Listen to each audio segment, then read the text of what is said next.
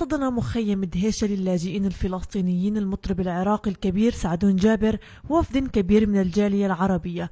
خلال زيارة للمخيم حملت في طياتها معاني الوحدة العربية حيث عبر المطرب سعدون جابر عن سعادته بالتواجد على أرض فلسطين ومشاركة الشعب الفلسطيني نضاله وصموده.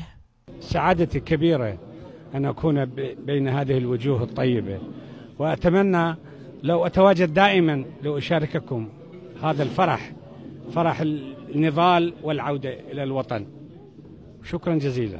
رحبت الفصائل الوطنية ومؤسسات المخيم والحضور بهذه الزيارة مؤكدين أنها تشكل رسالة واضحة بأن المخيمات هي بوصلة القضية الفلسطينية وأن حق العودة حق لا يمكن التنازل عنه.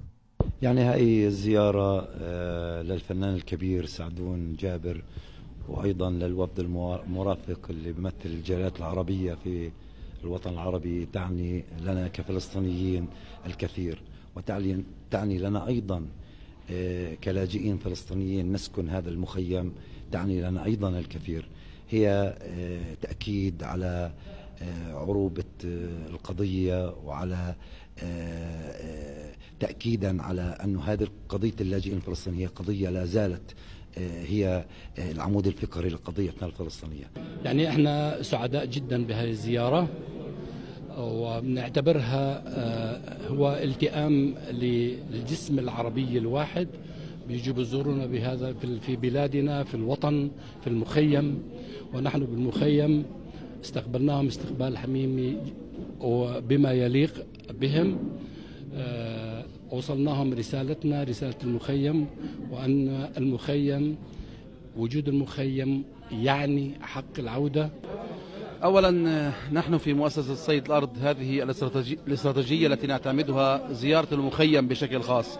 ونحن اليوم والوفود هذه التي جاءت من سبعين دولة إلى المخيم لكي نفكر مرة أخرى بأن العودة هي البوصلة التي نصل فيها إلى بر النجاة.